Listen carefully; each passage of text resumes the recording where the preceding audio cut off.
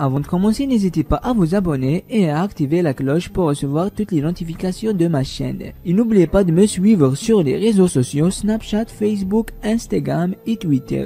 Et sur ce, je vous dis bon visionnage.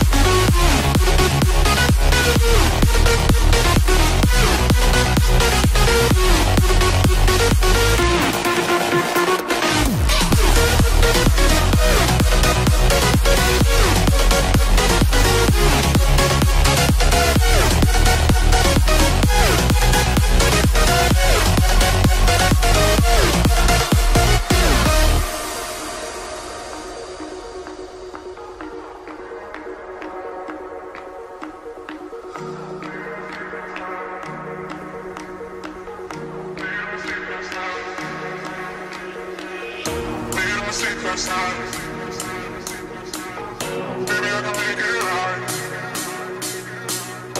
I'm close. We can talk about it.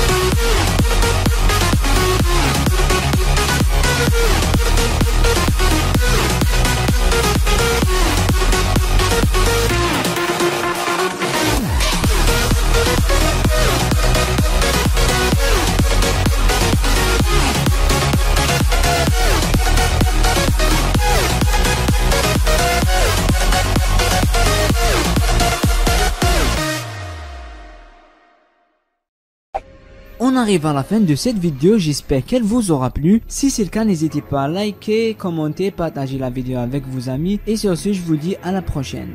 Ciao